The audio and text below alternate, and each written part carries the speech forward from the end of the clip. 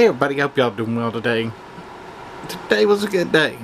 I mean, I went in and I'm gonna call this video boggles because when I have trouble at work, instead of saying, you know, something's fucked up, something's bothering me, you know, because I can't say that to uh, uber Christian boss. I have to, they had to come up with something, something like, I've got a boggle.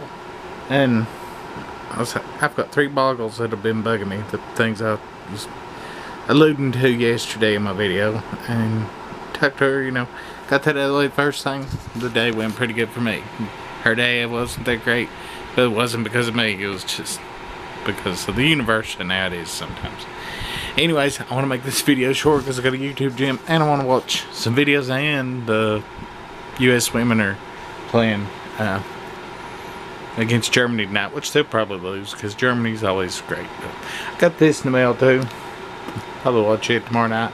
I own it already on DVD, but I'm hoping this version's a lot better looking. Uh, yeah, if you want to know what it's about, just text me in the comments and I'll lead you to it.